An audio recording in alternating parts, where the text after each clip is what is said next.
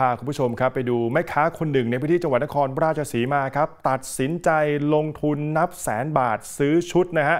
ทั้งซันตาคลอสซันตี้นะครับ เตรียมขายในช่วงเทศกาลส่งท้ายปีเก่าต้อนรับปีใหม่ครับ โอ้โห นี่ฮะ อยากได้แบบไหนขอให้บอกนะครับมีลวดลายสวยงามทีเดียวนะครับ พาคุณผู้ชมไปที่บริเวณถนนจันทร์หรือว่าตรอกจันทร์ในพื้นที่ตำบลในเมืองอำเภอเมืองจังหวัดนครราชสีมาครับ เราจะพบกับร้านเสื้อผ้าหลายเจ้าด้วยกันนะครับ ตอนนี้ก็มีการนำชุดซันตาคลอสนะครับมาตั้ง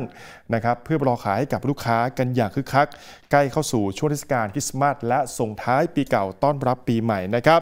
แต่ว่าเจ้าของร้านที่ขายเสื้อผ้าส่วนใหญ่ครับ บอกแบบนี้ว่ามั่นใจนะฮะ มั่นใจว่าในช่วงเทศกาลคริสต์มาสไปจนถึงเทศกาลปีใหม่เนี่ยเสื้อผ้านะฮะน่าจะขายดีนะครับ เพราะว่า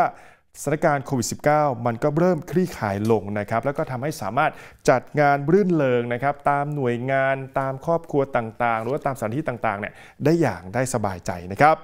โดยหนึ่งในนั้นก็คือนางสาวชวีวันชกาดวชิบราครับ ก็เป็นเจ้าของร้านน้องบีบีครับ บอกแบบนี้ครับ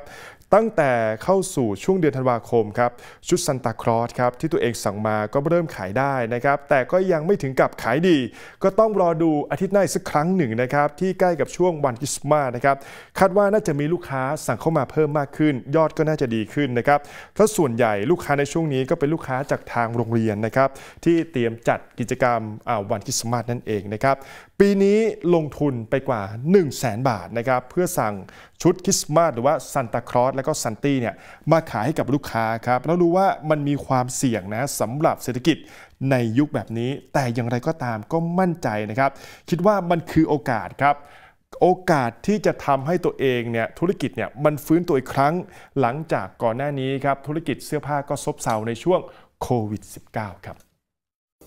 ขอขอบคุณคุณผู้ชมทุกท่านนะครับที่ติดตามรายการ TNN ประเด็นใหญ่ช่อง 16 นะครับ อย่าลืมนะฮะกด Subscribe กดกระดิ่งและกดแชร์นะครับ ในทุกช่องทางออนไลน์ของ TNN ช่อง 16 เพื่อที่คุณผู้ชมฮะจะไม่ได้พลาดนะครับ รายการที่สำคัญครับ ทั้งรายการสดรวมไปถึงคลิปวิดีโอต่างๆ ที่น่าสนใจอีกมากมายด้วยครับ